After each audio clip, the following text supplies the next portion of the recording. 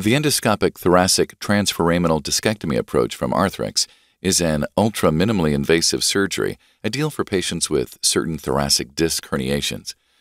In this procedure, the endoscope is used to assist in the approach for access and visualization.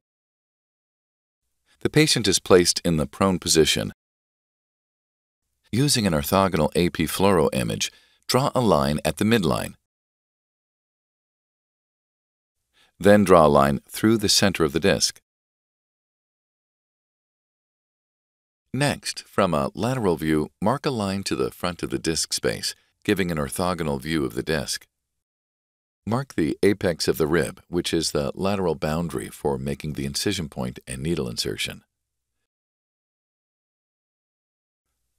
Insert the needle at approximately 35 degrees, depending on the location of the disc pathology. Make an incision along the introducer needle. Next, insert the guide wire and remove the needle. Insert the dilators while rotating.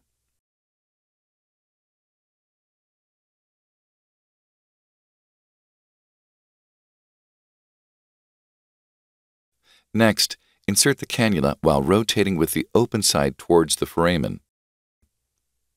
Remove the dilators and insert the endoscope.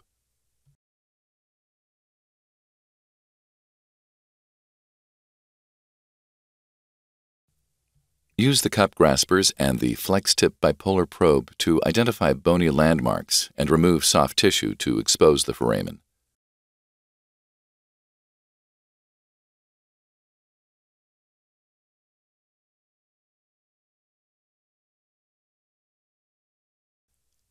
Use a burr to resect a portion of the inferior pedicle to create a working channel for the endoscope and cannula.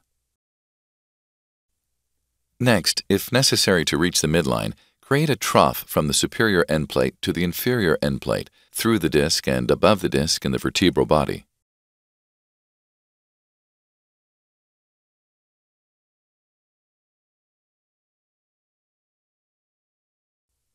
When the working channel has been created, the space underneath the cord allows for removal of any fragments ventral to the cord using a downward and outward motion.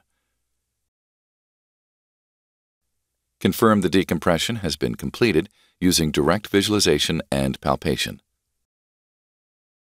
The endoscope and cannula are then removed, followed by wound closure and placement of a jumpstart bandage.